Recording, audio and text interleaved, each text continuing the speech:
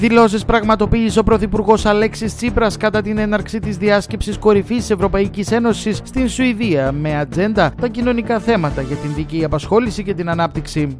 Ε, βρίσκομαι σήμερα στο κέντρο σε μια δύσκολη στιγμή για την Ελλάδα και τον ελληνικό λαό. Θέλω να ευχαριστήσω α, όλους τους ε, εταίρους για, την, για το κύμα αλληλεγγύης που έχουν δείξει με τις δηλώσεις τους και με την προσπάθειά τους να δείξουν ε, αλληλεγγύη και να βοηθήσουν όπως μπορούν την ε, Ελλάδα σε αυτή τη δύσκολη στιγμή. Ωστόσο, είμαι εδώ για μια σύνοδο που κατά την άποψή μου είναι εξαιρετικά σημαντική, καθώς ε, συζητάμε για την ανάγκη ενός πλαισίου κοινωνικής προστασίας, για την ανάγκη ενός κοινωνικού πυλώνα σε μια Ευρώπη που τα τελευταία χρόνια έχει οδηγηθεί σε μια απολύτως νεοφιλελεύθερη κατεύθυνση και ε, αυτό έχει δημιουργήσει τεράστιες ανισότητες τόσο εντός των κρατών μελών όσο και μεταξύ των κρατών μελών. Είναι ανάγκη λοιπόν να συζητήσουμε την αλλαγή του οικονομικού μοντέλου. Για μας τους Έλληνες που έχουμε υποστεί τις συνέπειες της οικονομικής κρίσης είναι μια ευκαιρία να αναδείξουμε για άλλη μια φορά την ε, ανάγκη προστασίας των συλλογικών διαπραγματεύσεων και επαναφοράς των συλλογικών διαπραγματεύσεων και του κοινωνικού κεκτημένου σε ό,τι αφορά την εργασιακή νομοθεσία και στην Ελλάδα, αλλά ταυτόχρονα να βρούμε και τρόπους τόσο ώστε αυτό το κοινωνικό κεκτημένο να βοηθάει και τη νέα γενιά των εργαζόμενων, μια νέα γενιά που δεν γνωρίζει καν τι θα πει κεκτημένο.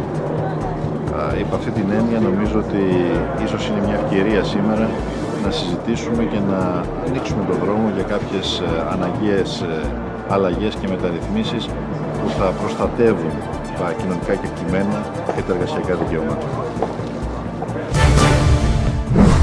Ομιλία για το προσφυγικό μεταναστευτικό πραγματοποίησε στοιχείο ο πρόεδρος της Νέας Δημοκρατίας Κυριάκος Μητσοτάκης.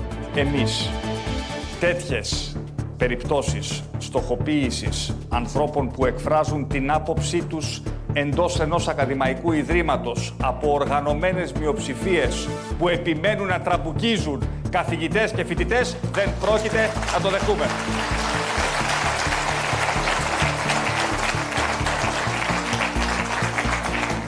Τρέψτε μου να ξεκινήσω παίρνοντας αφορμή από κάτι το οποίο είπε ο κύριος Κανάκης. Τα εύσημα για την αντιμετώπιση του προσφυγικού μεταναστευτικού προβλήματος πρέπει να τα αποδώσουμε πρώτα απ' όλα στους ίδιους τους νησιώτες, σε εσάς, στην καθεμία και στον καθένα ξεχωριστά, που με μεγάλη αξιοπρέπεια, με περίσευμα ανθρωπισμού, με περίσευμα καρδιάς, αντιμετωπίσατε και υποστηρίξατε αυτό το πρωτοφανές φαινόμενο το οποίο χτύπησε τα νησιά σας. Πρέπει επίσης να αποδώσουμε τα εύσημα στο λιμενικό και στην αστυνομία.